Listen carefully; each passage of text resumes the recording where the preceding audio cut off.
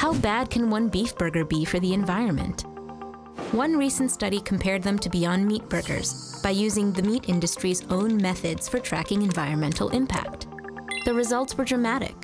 The process to make one veggie burger produced 90% less greenhouse gases and required 90% less land and 99% less water than a beef burger.